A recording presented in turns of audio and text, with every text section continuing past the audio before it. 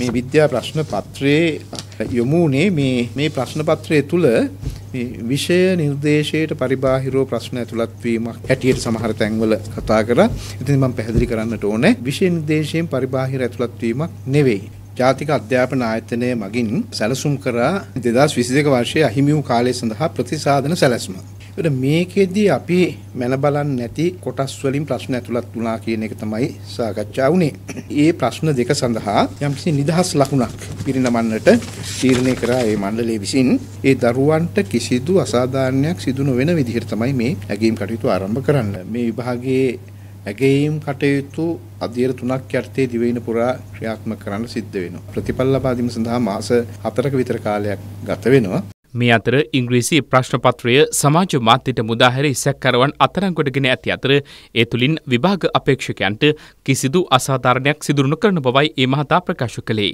ගම්පහ ප්‍රදේශයේ එක්තරා විභාග මධ්‍යස්ථානයක කාර්ය මණ්ඩලයේ සේවය කරපු එක්තරා නිරීක්ෂිකාවක් ඒ තමාගේ ජංගම දුරකථනයෙන් මේ ප්‍රශ්න පත්‍රය ඡායාරූපයක් අරගෙන මේක නුවර ප්‍රදේශයේ ඉංග්‍රීසි වෙනත් පාඨමාලා සඳහා පන්ති පවත්වන විශ්‍රාම ගුරුවරයෙකුට එයාගේ WhatsApp අංකයට මේ ප්‍රශ්න පත්‍රය යොමු කරලා තිබුණා කියන එක තමයි මට වාර්තා වුණේ.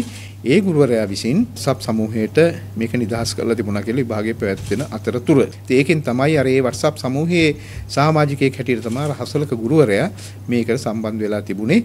මේ වෙනකොට බාලිකා විද්‍යාලයේ හිටපු නිරීක්ෂකවරියත් ප්‍රදේශයේ ඒ WhatsApp සමූහයට මුදා හැරපු විශ්‍රාමික ගුරුවරයාත් දෙන්නම අත්අඩංගුවට අරගෙන තිබෙනවා. කිසිදු අපේක්ෂකයන්ට මේ ප්‍රශ්න පත්‍රය යොමු වීමට කිසිම ඉඩක් නැහැ කියන එක මම විශේෂයෙන්ම කියනවා. ඒ නිසා ඒ ඉංග්‍රීසි ප්‍රශ්න පත්‍රය සම්බන්ධයෙන් පැතිරලා යන කතා බහ අපිට ඒක විභාගයේ රහස්‍ය භාවය පිළිබඳ කිසිම බලපෑමක් නැහැ කියන එක මම විශේෂයෙන්ම සඳහන් කරනවා.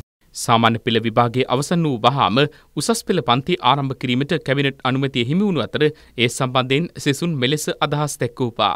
කැමති අවුලන්න ඒලෙවල් පටන් ගොත්තොත් හොඳයි තමයි තන්නේ ටක්ගාල ස්ලබස් කාර් කරන්න පුළුවන්? කැමති හින්න යාලෝ ටක්ගාල එකතු වෙන හින්ද ඒකල කැමති. තරව නරකයි.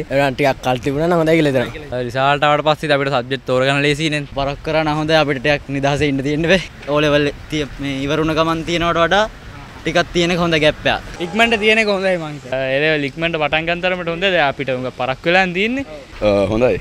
එතොට ඉක්මට ඉඩවල් කරලා ඉව කරන්න හොඳයි මයිතින් කාලෙත් පහු වෙලා කියන්නේ ඒලෙවල් ඉක්මට පටන්ගන්න එක හොඳයි ඇත්තරමති දැනටත් ගොඩක් කල් ගිහිල්ලන තියෙන්නේ රිසාල්ටෙක් ගැන ශුවරයක් තියෙන ඉතින් කලින් පටන්ගන්නෙන් ගොඩක් හොඳයි. ඇත්තටම හොඳයි. මොකද මේ ලොකු කාලයක් යනකොට ළමයි මේ ප්‍රයිවට් කැම්පස් වලට යොමු වෙනවා.